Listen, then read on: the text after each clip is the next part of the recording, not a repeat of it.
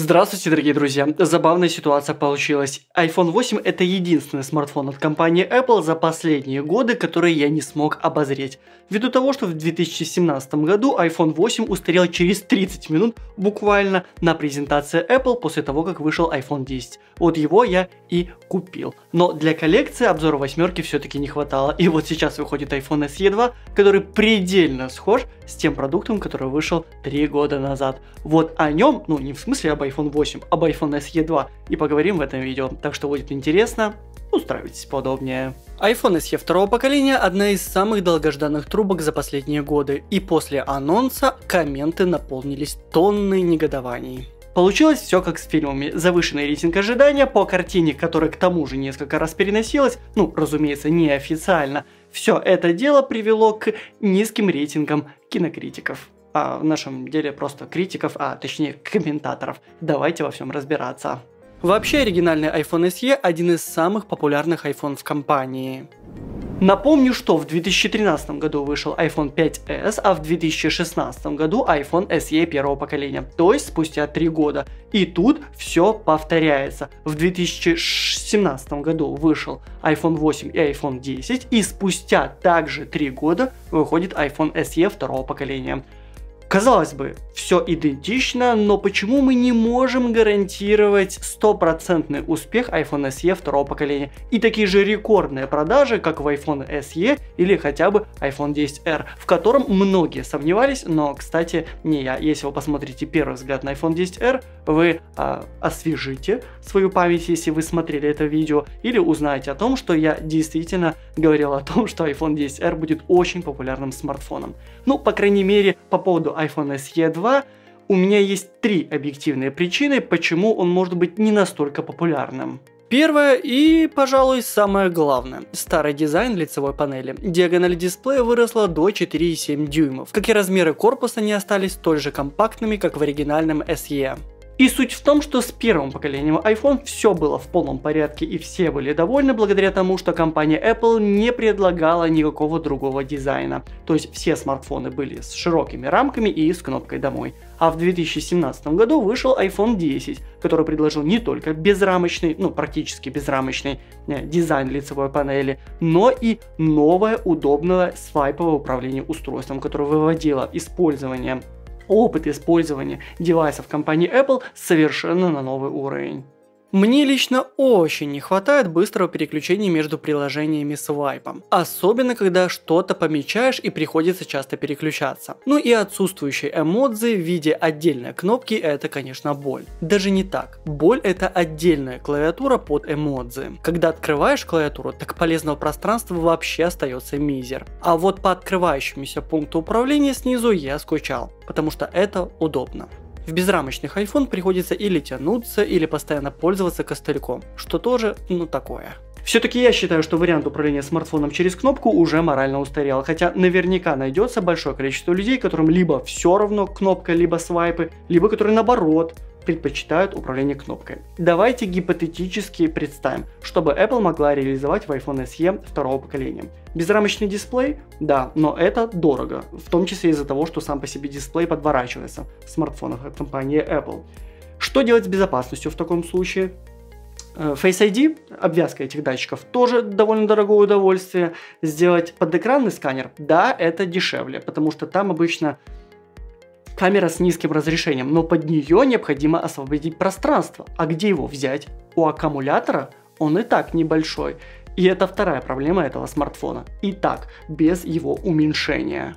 У девайса очень низкое время автономной работы. 4,5-5 часов работы экрана это максимум, который мне удавалось выжить до полной разрядки устройства. При этом я даже не играл в игры, в основном около 50%, а иногда даже и больше, это просмотр видео на YouTube через встроенные динамики. Согласитесь, не очень затратная такая задача. А если вы не пользуетесь смартфоном, и он просто у вас лежит и принимает уведомления через Wi-Fi, батарейка за сутки отжирается в среднем на 15-20%.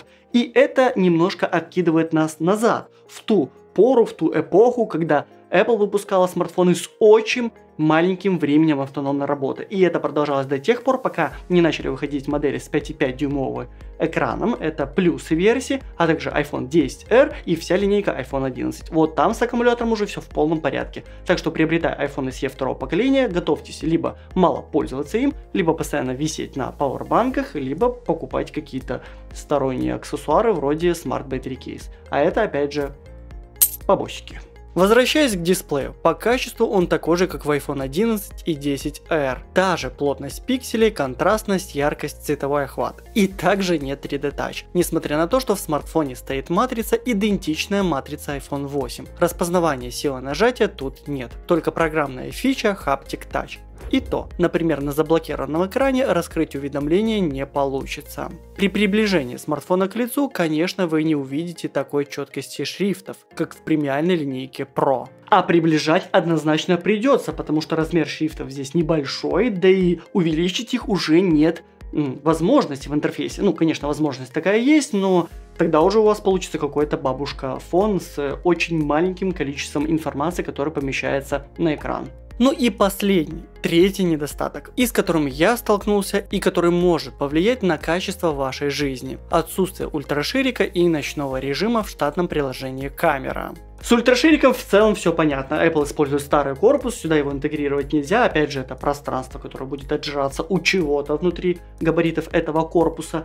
Но что с ночным режимом? Почему его не добавили? Здесь же стоит самый топовый процессор, а ночной режим как раз таки работает за счет нейронных сетей, специального отдельного модуля в этом процессоре. И я еще могу понять, когда Apple не добавил ночной режим, там, допустим, в прошлогодний iPhone 10R, в 10s и 10s Max, ведь там процессор прошлого поколения. Но что мешало сделать это здесь?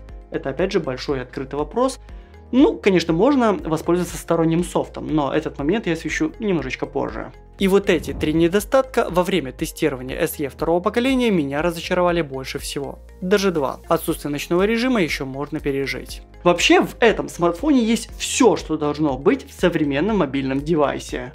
У него отличный материал корпуса, влагозащищенного по стандарту IP67, алюминий и стекло, которые выглядят и ощущаются классно. Размер и вправду компактный, относительно флагманской линейки. Жаль, что дисплей слишком маленький относительно размеров корпуса. А вот такими были iPhone 5, который по габаритам такой же, как и SE, и мой первый iPhone 3GS с 3,5 дюймовым экраном. Единственное визуальное отличие от iPhone 8, кроме слегка изменившейся палитры цветов, стал логотип, который переместился к середине. Все защитные аксессуары от iPhone 8 подходят для SE второго поколения. Единственное, не берите их с отверстием, потому что, как вы понимаете, оно будет находиться не в том месте, в котором должно быть. Сама компания Apple выпустила новую линейку аксессуаров именно для SE 2, а в целом об оригинальных аксессуарах компании Apple именно для iPhone я уже рассказывал в отдельном видео. Обязательно посмотрите, там есть большой опыт использования. 64 гигабайта в базе, и это единственная правильная конфигурация, которую стоит брать за предложенные деньги. Тут есть полноценный стереозвук, который до сих пор добавляют не во все Android флагманы. На iPhone SE 2 максимальная громкость немножечко ниже, чем на iPhone 11 Pro Max, да и палитра звуков ну, не такая богатая, как во флагмане.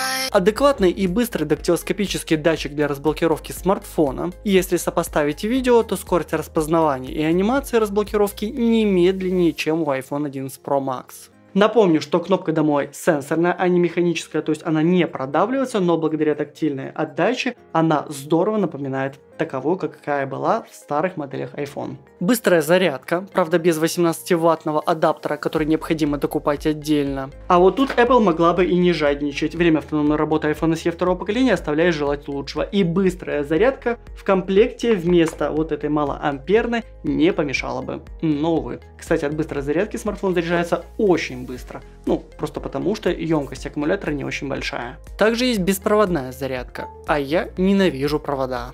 Правда, от Apple не дождешься AirPower, и я впервые протестировал устройство 3 в одном для одновременной зарядки iPhone, AirPods и Apple Watch Prestigio Revolt A1. Вкратце о выявленных достоинствах и недостатках. Из позитивного. Док-станция по большей части выполнена из алюминия, с глянцевыми и матовыми пластиковыми и резиновыми вставками, чтобы не поцарапать устройство. Выглядит очень стильно. На нижней части есть противоскользящие накладки. Интегрировано две Qi-катушки для беспроводной зарядки. Одна для смартфона на 10 Вт. Можно заряжать как в вертикальной, так и в альбомной ориентации. Вторая для AirPods 2 и AirPods Pro. О начале зарядки сигнализирует индикатор. Причем, если у вас кейс не поддерживает беспроводную зарядку, вы можете вставить свой Lightning кабель и спрятать его в специальный отсек, где есть два USB-A. Также док-станция соответствует всем основным европейским директивам, связанных с безопасностью, то есть продукт сертифицирован, на чем китайцы нередко экономят. Из того, что хотелось бы улучшить. В комплекте есть USB-C на USB-A кабель, но нет зарядного адаптера.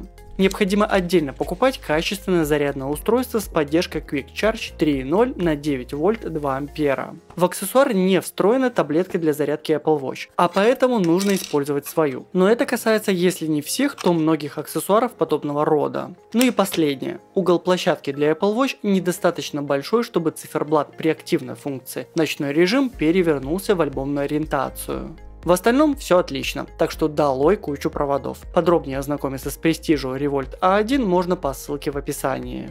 В iPhone SE второго поколения стоит топовый процессор, как в актуальной флагманской линейке iPhone 11. Две вещи, которые я сделал. Проверил скорость работы по сравнению с iPhone 11 Pro Max в запуске приложений и она одинаковая. Вообще, в целом, смартфон работает идентично плавно и быстро, как топовый iPhone. За две недели эксплуатации никаких аномальных подтормаживаний я не замечал. Как по мне, тот же iPhone 11 Pro Max, только с маленьким дисплеем и управлением через кнопку и проверил производительность в играх. Вы же не за циферками в синтетике пришли на наш канал. В играх почти все замечательно. Первое, с чего я начал, очень требовательная игра Shadowgun Legends. Тестировал на ультра настройках с принудительно включенными 60 кадрами. Счетчик FPS удалось прикрутить без использования провода при помощи утилиты Gamebench. Запись фреймрейта в каждой игре я начинал после 15-минутного прогрева, как рекомендуют производители утилиты. В итоге я получил стабильные средние 59 кадров. Смартфон в районе процессора нагрелся довольно прилично. Никаких просадок, но максимальная яркость со временем снижается. Этот эффект наблюдается во всех производительных играх. Яркости все равно достаточно, но вот запаса, например для игры в солнечную погоду на улице, уже нет.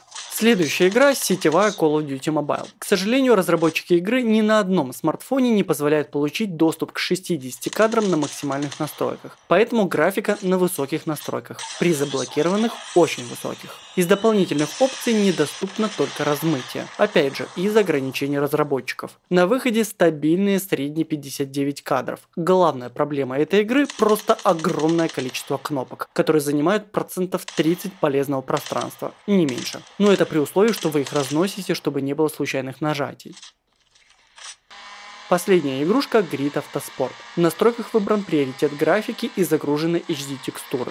Максимальный отдаваемый фреймрейт в игре 36 кадров. Средняя частота кадров, которые реализует SE второго поколения, 35. Тестировал на последней финальной прошивке iOS 13.4.1, доступной на момент записи видео. По итогам iPhone SE можно вполне назвать игровым устройством, если вас только не будет смущать столь компактный дисплей, часть которого вы в довесок будете перекрывать пальцами. А снижающаяся яркость меня не смутила так сильно, как то, насколько быстро этот смартфон разряжается в играх заряд просто тает на глазах.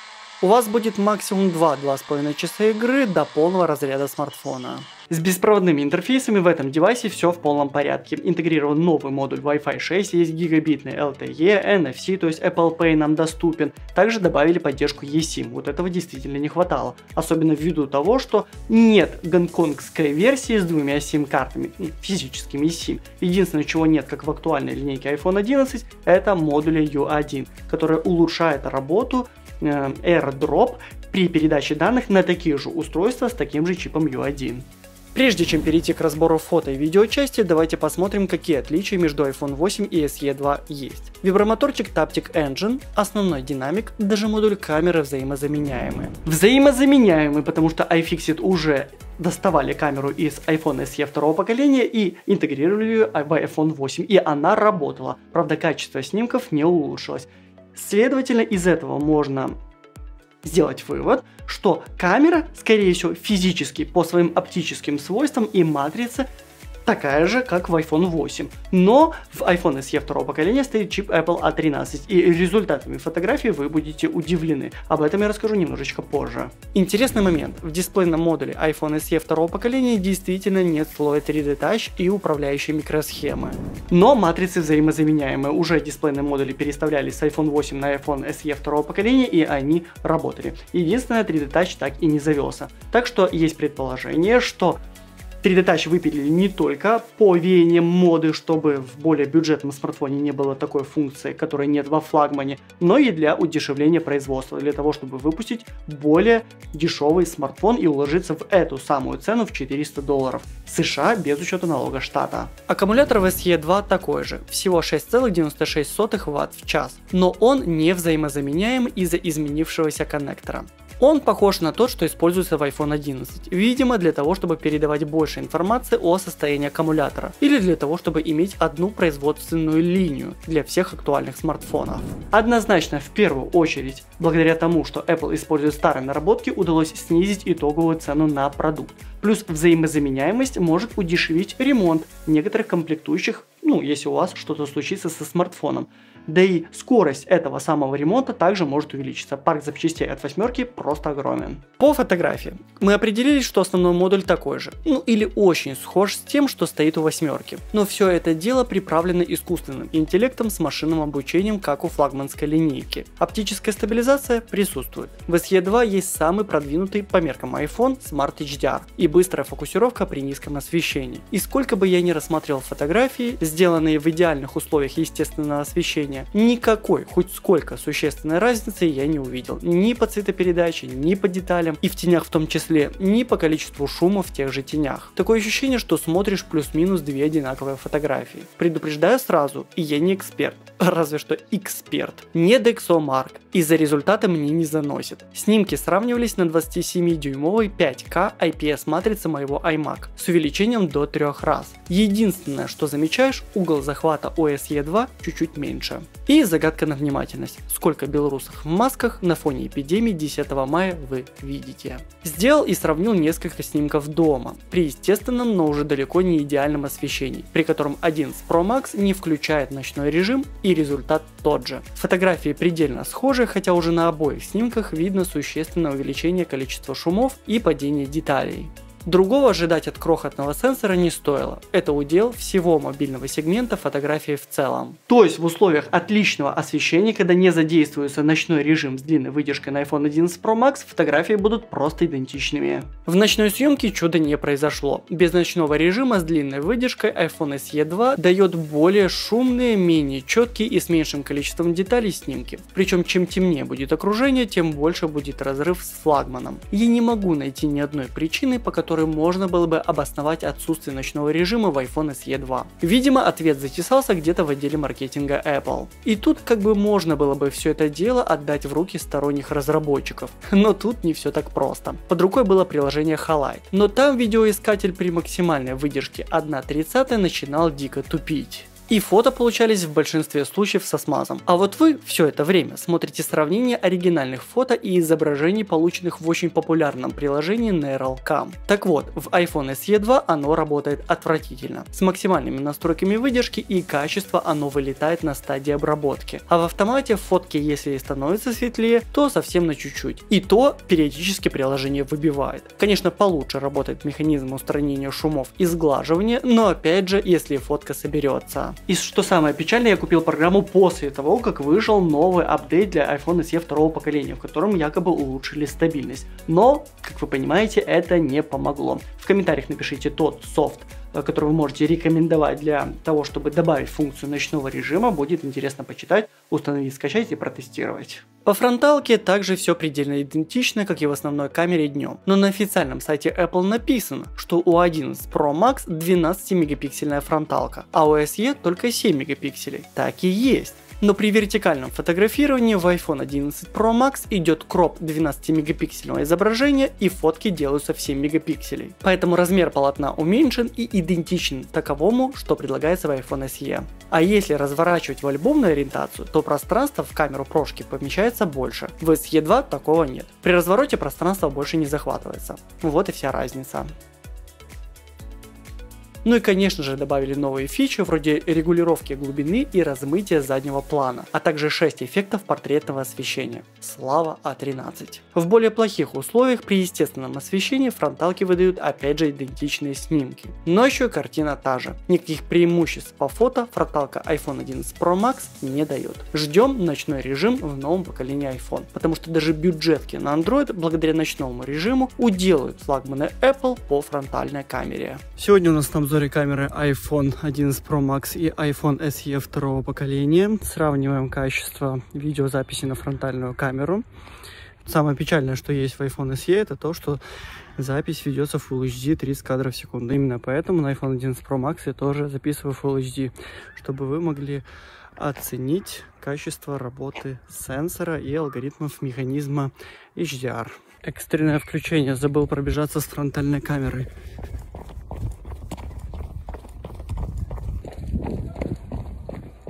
Теперь все. Сейчас можете сравнить качество записи видео на iPhone 11 Pro Max и iPhone SE второго поколения в ночных условиях. Записываю Full HD 30 кадров в секунду. Также оцените качество записи звука. Есть небольшой ветерок, так что может задувать. В целом, в теории, качество изображения должно быть примерно идентично. А на практике сравните уже сами в своем личном независимом тесте без каких-либо моих выводов. С основным модулем камеры все значительно лучше. Есть возможность записывать 4К 60 кадров в секунду. И давайте проверим качество работы механизмов HDR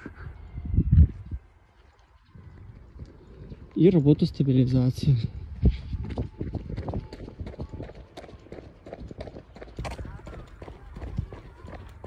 Также не забывайте проверять качество записи звука, настроенные микрофоны.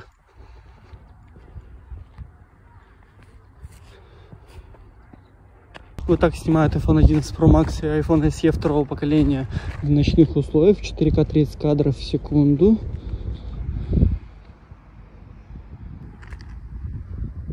Можете оценить качество изображения, а также оптическую стабилизацию.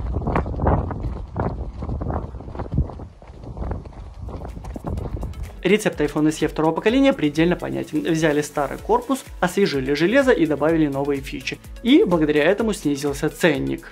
А вот достаточно ли снижен ценник, мы узнаем позже. Не из комментариев, а из статистики продаж этого девайса. Ну, если таковая будет. И да, посмотрев на 400 долларов США, не забывайте о налоге, который разнится в каждом штате. И его нужно плюсовать. В российском Apple Online Store ценник уже учитывает НДС. Тут вы уже должны понимать, что Apple в первую очередь продает не вот эту вот железку, а в первую очередь более дешевый вход, ну пусть и компромиссный, в свои сервисы, софт и экосистему. То есть к этому смартфону вы можете докупить AirPods, Apple Watch, компьютер Mac, который, если у вас основной, так вообще замечательно. И все это дело вместе будет работать. Да, 100% аналогичные по цене Android девайсы по многим показателям будут лучше и менее компромиссными, что ли, чем этот девайс. Но там это отдельный аппарат, а здесь это вход во всю продукцию от компании Apple, которая вместе работает просто восхитительно. Да, если есть возможность, лучше доплатить и купить 10R, который до сих пор является актуальным смартфоном компании. Правда, размер уже у него не маленький, что идет в разрез философии SE2. Мне кажется, что время iPhone SE второго поколения наступит немножечко позже, хотя казалось бы, куда еще позже. Тогда, когда ценник на него еще снизится, и он будет самым дешевым не только по меркам смартфонов от компании Apple, которые в целом дорогие, Apple никогда не претендовал на бюджетный сегмент, но когда он будет сопоставим с девайсами по той же цене, во всем рынке, особенно на огромном рынке Android девайсов. Получилась очень нишевая тема – которая, наверное, в первую очередь будет актуальна тем, у кого среди всей техники Apple iPhone не является основным устройством. Вот у меня основное устройство это мой компьютер Mac. Ну там дома iMac, на выезде MacBook. Вот. И вот тогда, если ты боишься покупать бэушную технику Apple, стоит обратить внимание на этот смартфон. Какие еще варианты? Я даже не знаю. Пишите об этом в комментариях. Будет интересно почитать вашу точку зрения. На этом все. С вами была Вадим Ищенко на канале Протек. До скорой встречи. Увидимся в следующих видео. Что-то я уже заговорился. Пока-пока.